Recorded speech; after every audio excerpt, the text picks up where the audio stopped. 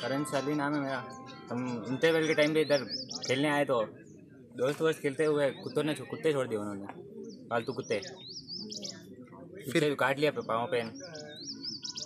तो आज आप सारे इकट्ठे हो क्या आपका क्या क्या डिमांड कर रहे हो आप? क्या मांग है आपकी? मांग तो हमारे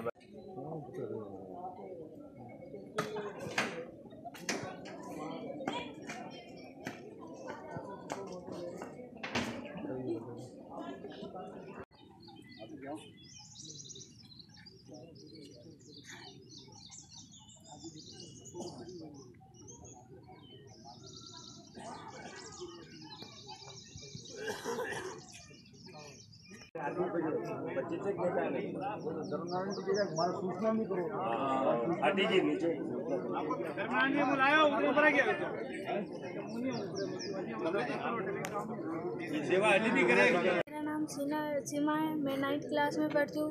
इंटरवल में जब मैं इधर खेलने के लिए आई तब मेरा कुत्ते कुत्ते ने मेरा पैर पकड़ लिया और मुझे भागने का रास्ता ही नहीं मिला। अभी किस तरह का डर है सभी लड़कियों में वगैरह? अभी कुत्ते काटा इसलिए इसका डर है। हाँ सर आदेश करें। कमलेश कुमार बोरदिया तीतरडी में वरिष्ठ अध्यापक। हाँ सर बताइए क्या है मामला क्या हुआ था? यहाँ पे मैं बच्चों को व्यवस्थित करने आया था बच्चे खड़े थे। तो उस टाइम एक पालतू कुत्ता आया और उसने आके मेरी पिंडली पकड़ ली।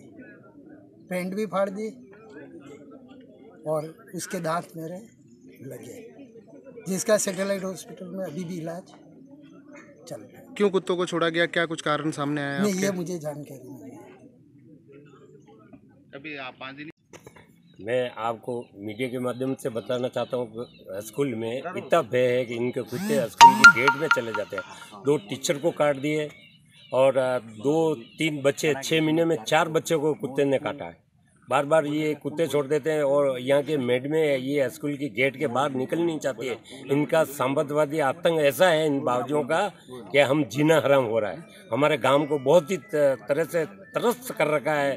कभी तालाब पे चले जाते हैं, कभी किसी के मकान पे कब्जा कर लेते हैं। ये ये आतंकवादी बचा रखा है।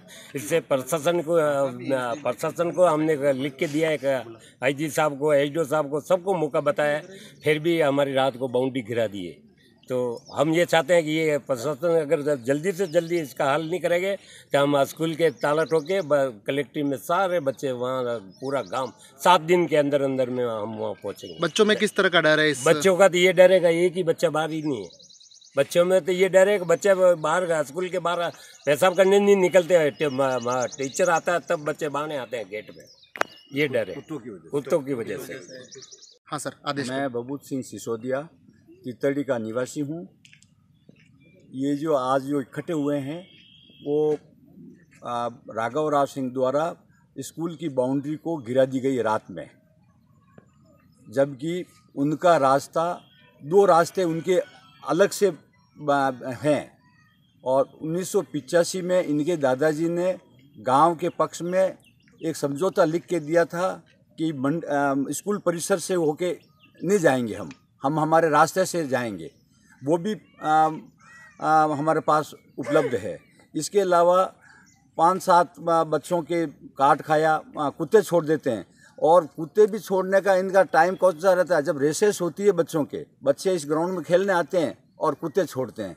तो कुत्ते जो है पाँच सात बच्चों को काटा और शिक्षक का भी काटा जिसकी एफआईआर भी दर्ज कराई हुई है। फिर भी इन्होंने जो है अब रात को आ, ये बाउंड्री भी गिरा दी। जबकि कल एस डी साहब पधारे थे उनके सामने बाउंड्री थी और आज रात को उन्होंने गिरा दी। इसका मतलब तो यही है कि प्रशासन इनसे मिला हुआ है मिली भगत की वजह से ये रात को इन्होंने जो है बाउंड्री गिराई। अगर प्रशासन इनके साथ मिली भगत नहीं होती तो इनकी ताकत नहीं है कि वो जो है बाउंड्री गिरा सके। ठीक मैं यही कहना चाहता हूँ अगर ऐसा प्रशासन जल्द से जल्द इस समस्या का समाधान नहीं करेगा तो इसका उग्र रूप मतलब आंदोलन किया जाएगा। हाँ सर बताएँ। ओनार सिंह सिसोदिया यहाँ आज हम सभी गाँव वाले यहाँ इकट्ठे हुए हैं। ये विद्यालय का ग्राउंड है। इस विद्यालय के ग्राउंड पर गाँव वालों ने द्वारा बाउंड्री बनाई हुई थी। ये राघवराज सिंह द्वारा रात को कुछ असामाजिक तत्वों द्वारा ये बाउंड्री को गिरा दी गिरा दी गई है।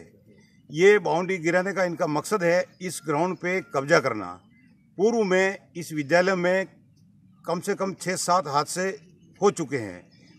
पूर्व में कब्जा करने की नीयत से ये कुत्ते छोड़ दे, छोड़ देते हैं और बच्चे, कम से कम छः बच्चे को और टीचरों को काट खाया है। एक दो एफ़ भी अ, काट खाने की एफ़ अभी हमने थाने में दर्ज कराई उसकी भी कोई अभी तक तो कोई कार्रवाई नहीं हुई है। हम सभी ये इकट्ठे हुए हैं कि बच्चे डरे हुए हैं सहमे हुए हैं या कैसे स्कूल आए कैसे खेले प्रशासन इनमें मिला हुआ है प्रशासन कोई कोई ध्यान नहीं दे रहा है। कल एच साहब यहाँ यहाँ मौके पे आए थे देख के गए थे तो उन्होंने भी ये मौका देखा और दीवार जब कल दीवार बनी हुई थी अधिकारी यहाँ आ रहे हैं जा रहे हैं लेकिन क्या पता क्या, किसकी इनको सह है, ये बाउंड्री गिरा दी गई है। हम प्रशासन से मांग करते हैं, यह विद्यालय या तो हम गाँव वाले यह विद्यालय बंद कर दें, बच्चों को न पढ़ाएँ, या या प्रशासन इस समस्या का समाधान करे। प्रशासन अविलंब ये ग्राउंड की समस्या को समाधान अगर नहीं करता है तो सात दिन बाद, सात दिन का टाइम हम प्रशासन को देते हैं। सात दिन बाद गाँव वालों द्वारा सभी बच्चों को कलेक्ट्रेट पर प्रदर्शन करेंगे और बच्चों के अभिभावक समेत कलेक्ट्रेट पर उग्र प्रदर्शन करेंगे। हम गाँव वाले, हम सभी गाँव वाले एकजुट हैं और ये प्रशासन से ये आग्रह करते हैं कि इस समस्या का समाधान जल्द से जल्द कराने का कष्ट करावे।